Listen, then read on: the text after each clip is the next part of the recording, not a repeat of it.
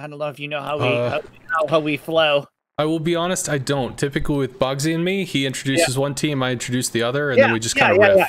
Yeah, we kinda- you, exactly. You introduce KSF. That's what I'm saying. Okay, cool. So over on KSF side, we've got the Montana and Yamato. So the Yamato going to be able to bow in and shove giant shells in from any angle. We've got a Venezia, a Moskva, and a Stalingrad, and four destroyers. We've got a double Z52. What? This is just insanity. Followed up by a Harugumo for mini cruiser type action and a Shimakaze. What's over on the other side? Well, on the other side, we've got just a single Z52, which you've got to expect is going straight into the B cap because just Hydro, that's going to be its job. Sit there in Hydro. Followed up with a Daring and then a Kleber for the long range uh, engagements with damage saturation. Then you've got double Moskva, Stalingrad, and a Venezia out there that's hoping to find those four DDs and saying, ooh, yum, dinner, along with the Kremlin and Ohio in the battleship front. So the Kremlin's definitely going to be following the Yami and just bowing and challenging. So they've gotten rid of one of their Venezias, which I think is smart on the side of Ayame. The Zeds loving it. There's going to be islands that that both Zeds can park behind, and they're going to be able to get some value for it. Let's see if they split up, and it looks like that's what they're doing. All right. Well, we do see if we're trying to look at some initial deployments coming out of KSF, we have a Z52 heading toward the Bravo side, and looks like it's going to be matched on the others, while another Z52 from OnlyFans Borla is heading out wide to Charlie with a Harugumo. Harugumo could split split the difference and catch between two Z52s, choosing if he wants to help at Bravo, help it, or help at Charlie. Well, we've got a Moskva, Venezia, and Yamato going wide. That's a really heavy push over on Charlie, whereas over on the A side, it's just a Montana of OnlyFans GM Schwartz. Oh man, that must be tough to say. And then Seriously. we've got Cable Guy kind of hiding behind an island, but looking to help for B, but not help A, as only Lego Party Australia is even there to contest. They might be looking to give up A. And my first thought is, are we even allowed to say their full names? Because we have that ping from Conway in the uh, streamer announcement saying you're not allowed to average advertise names are third their name. Yeah. Well, look at this Kleber. anyway, he's going to be able to get shots on Revan Yeah. and D the moment So, Cherie spots him. this is going to be brilliant. The Z52 is set up there to Hydro. If he spots Revan, the Kleber is there, as you said, to just chunk him, force him behind the island. They're putting a hard push of cruisers into C. No DD over there, interestingly enough, but they have a Moskva they're going to shove up close along with the Venezia, the Kremlin, and the Stalingrad. So they are pushing with a heavy dose of Stalinium over there at C. Onto the side at A, you've got the Daring, which is sitting back. He's looking for the Torp angles right now. Um, but you have the Moskva pushing up, and the Ohio is just floating along, waiting to drop 457 millimeter shells on anything that shows up. And there's the action. Z52 Yep. is spotted. Count, counter hydros, and Kleber is just waiting. Revan is going to. He's yep. There it is. Six K down. Yeah, big shells coming out. Z52s both running away, doing the little DD dance as they wiggle their bottoms at each other, running for safety. And looks like they are both out of the cap and trying to juke shells. Cable Guy firing a few shots out super wide at a Moskva of Mizuhana, ignoring the Z52 stuff in the center as more shells come from the Z50 from the Venezia of oh. Wombat. Makes a connection, Ouch. about 10,000 shaved off in a single clump. And you have to love the, the trade in the middle if you're the side of uh, Yame, because you spent 2k and you took off 4k, almost 5k off of Revan. That being said, the Z52 shifting out, I'm interested to see where they're going to shove him. Is he going to go back into B on the far side now to make sure that he doesn't get uh, shot by the Moskva of balls, or is he going all the way down to C and they're giving up B? Kleber and Daring pushing to A, so it looks like they're going to try to claim A and start ticking points over there. Once again, we see KSF with the Shima Montana basically taking a, a cap on their own. This time they are going to get a little bit of help from Cable Guy, but he is not pointed anywhere in their direction. He's looking for cross shots on B and C. Lego Party Australia actually has uh, Torp coming in on him. Nope, he's able to actually dead out before, but he does find himself in between the little bowling alley as OnlyFans GM Schwartz has some shells coming in. The Montana over at Alpha against two DDs plus a Moskva, Ohio. The Stalingrad of Cable Guy unable to render assistance as Schwartz is probably just going to be taking shell after shell. The Shimakaze of Lego Party Australia not looking to contest, but looking to spot instead and nothing more. So far, Charlie just kind of a staring contest, nobody making any moves as Bravo has fallen to KSF and the points are slowly ticking over in their favor. And this Moskva is not having fun right now. He's been getting chunked by that Venezia all game. 22,000 off of him already. And Wombat is just enjoying sending shells at him all the time. He's got to lock in on that island if he wants to stay alive. Update on the points. We're looking at about a 50,000 health advantage on the side currently of Ayame.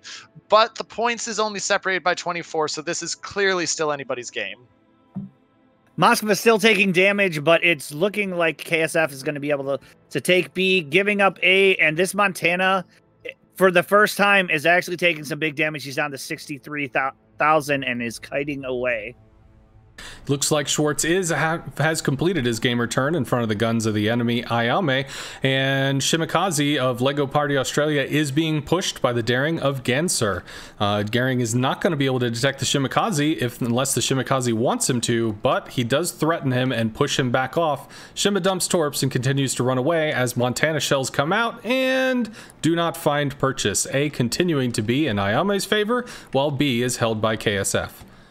And it looks like it's stabilizing at C. We've now got the Z52 has moved over to C. And as I see, the Kleber of Ayame is pushing back towards B. But it looks like we're going to have a push in here at C. And we're starting to see that. I mean, you're not going to shove a Kremlin into the C cap unless you're ready to push. So I expect to see the Stalingrad coming around pretty soon. And the Moskva's found that spot where he can get angles on and shells onto the Venezia of Wombat without taking too much damage. Torp's out at the Z52. Is Cherie about to take a Torp, or is he going to Skinny Girl? Skinny Girl is successful maneuver, and the Venezia of Akira Manade did take a Torp, though, so he is down to half health and healing. Harugumo's about to eat Torps. One. Ooh. Ooh. Actually, not bad. That could have been way worse. Yeah. 10k off though is still no fun when you only have you're at two thirds health now for the rest of the game. Yeah, well, they're moving the Harugumo out to be able to smoke up and potentially light this Kremlin on fire, but there's a Stalingrad and Moskva sitting there just waiting to radar him. Daring Shima fight happening at A, by the way. Daring Shima fight happening at A. Oh, uh, looks like Lego Party Australia losing a good 6,000 health off to the Daring, who is rapidly tracing in pursuit. The only help coming from Schwartz over 15 kilometers away in Montana, unlikely to be able to bingo a Daring from that distance. A still being held by Ayame, and Bravo is contested. The Kleber of Grey Ghosto looking to push in against Ravon Z52. So far, they haven't made contact, but he is blocking the cap, oh, meaning Ayame oh, oh, taking. Sorry to interrupt, but Borla is getting absolutely absolutely eviscerated down at C. And yes, I know that is the 5th time I have said it. Yep. oh, Kremlin shots or Moskva shots miss. I think this is the end of Borla. Mm, he's wiggling. He's juking, he's jiving, shells coming in, fall left, right, center, and looks like the Z52 is going to make it out. He's actually far enough that Cherie cannot spot him. He slinks away with only 3,000 health. No heal on the Z52. He's going to be pushed out by Cherie and unable to come back in, even though it looks like Cherie is now taking shell fire. Big, uh, big changes. The Kremlin of Livnik has parked himself in Charlie and is contesting the cap. He's pulling fire from the Harugumo of Aussie Zeus, but they're going to have to keep focused on him, and as Cherie is able to turn away after having driven off Borla, that destroyer is going to be able to get into C and take it. That's probably happening in about a minute from now. Mm-hmm. Well, and the finally started engaging the Z52 and B, and he's going to push him off. And it looks like Ayame is going to be able to take C, B, and A. Where are these points coming from if you're KSF? Right now you you have to regroup. I mean, your Z52 is down to or 20k health right now. He can't fight Cherie. He will lose that fight every time.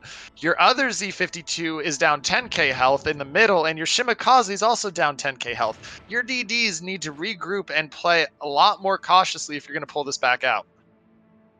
Yeah, it looks like KSF is trying to rally as the Montana and Shimmy have just decided to land directly on top of each other. The Montana pushing heavily with Lego Parta, Party Australia, and the Shima is moving, making moves toward Alpha. Moskva radar is going to be there to greet him, and a daring that definitely wants to brawl if he can. But with the Montana being so close, that makes it kind of risky. Still, looks like Ayame has dominantly taken C, even if they haven't gotten the cap yet, and driven KSF all the way back to the C line. And the cap contest in the middle continuing to happen, but Ravon lost the cap to Grey Ghosto of Ayame's Kleber.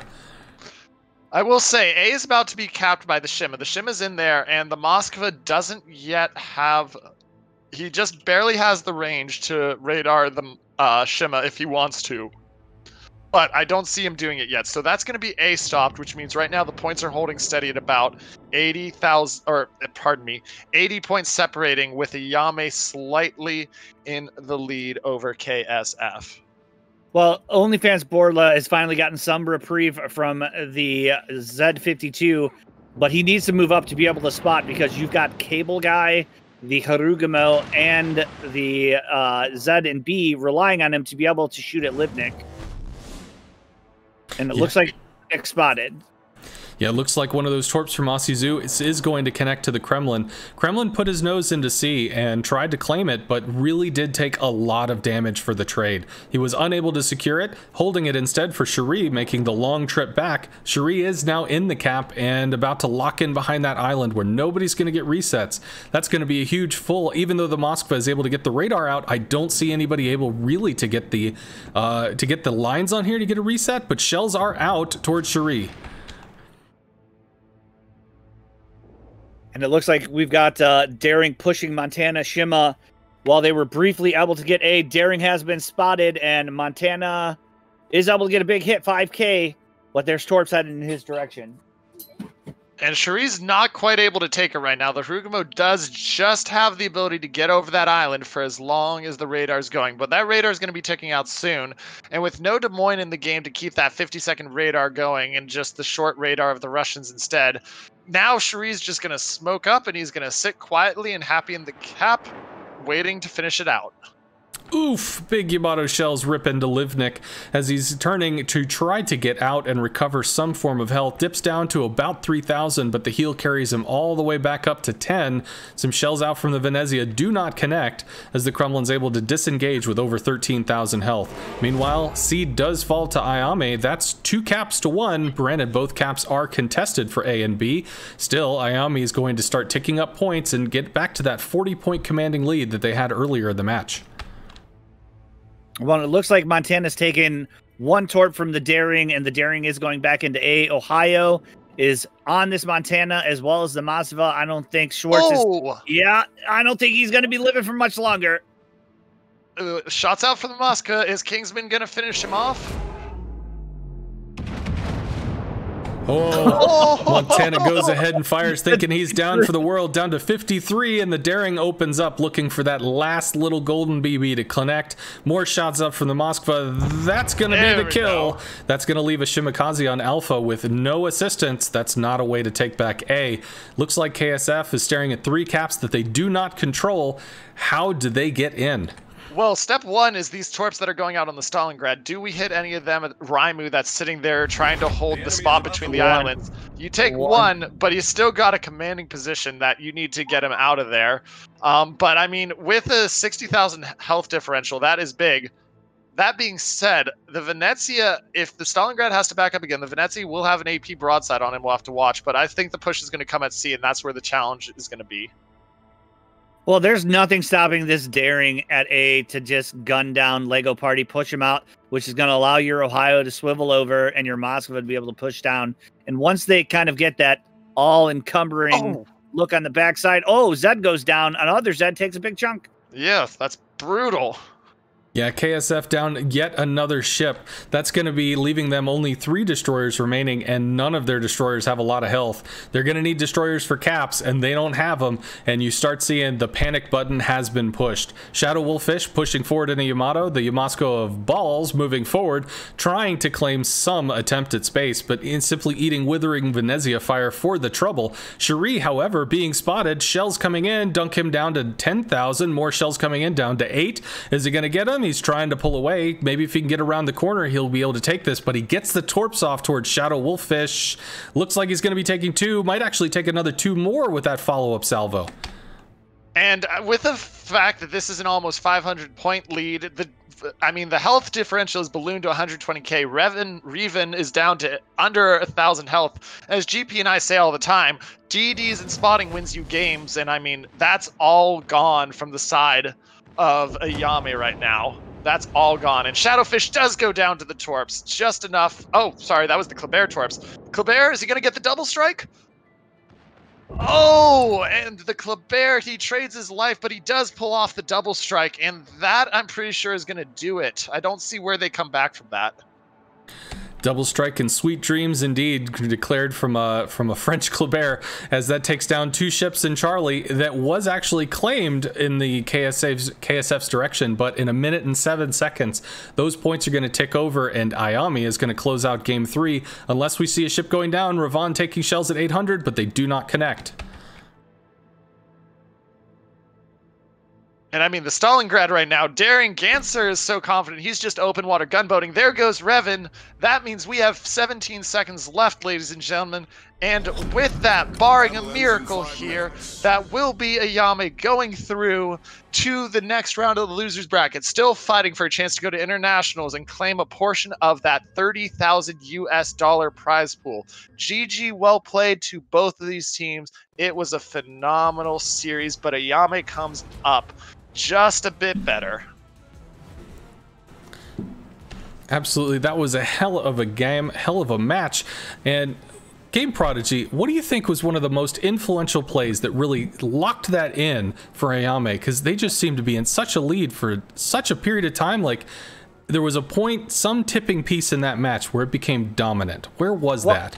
Well, I think when when the the Z52 charged and actually was able to to take OnlyFans Borla down to 5K, that basically eliminated the spotting, which meant the Harugumo no longer could could um, easily farm. The Venezia had nothing to shoot at.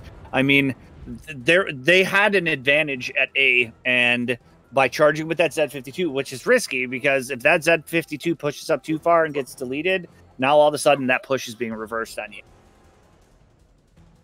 Mm-hmm. I mean, that was just a phenomenal set of games, and it, it always comes down to DDs win your games. Oh, without a doubt. And you know, we, we've we've seen some Kleber tonight that uh, was a little questionable, and then we just saw Kleber take down two ships and decisively, decisively kind of put the nail into into the coffin of KSF. But they've had a good run. They've come all the way from uh, qualifiers. So, you know, you can't be mad about top 16.